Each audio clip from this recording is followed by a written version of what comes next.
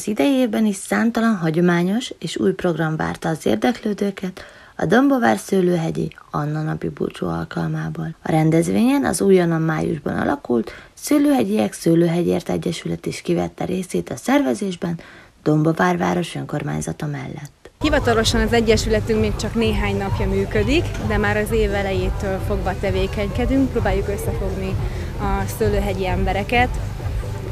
Több megmozdulásunk is volt. Az első az egy apró kis szemétszedés, így indult, ami, ami az is nagyon jól sikerült, és sok embert meg tudtunk mozdítani, illetve családi napot szerveztünk ez idáig. Kicsiknek és nagyoknak egyaránt tökéletes választás volt a július utolsó előtti szombatján megrendezett gyermek és családi program. Minden korosztály megtalálja a magának megfelelő elfoglaltságot a rendezvényen.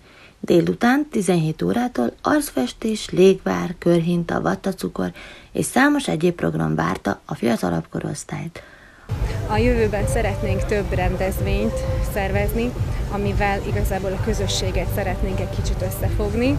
Nagyon sok szőlőhegyi ember nem is ismeri egymást, úgyhogy ezek egy nagyon jó alkalmak, hogy megismerkedjünk.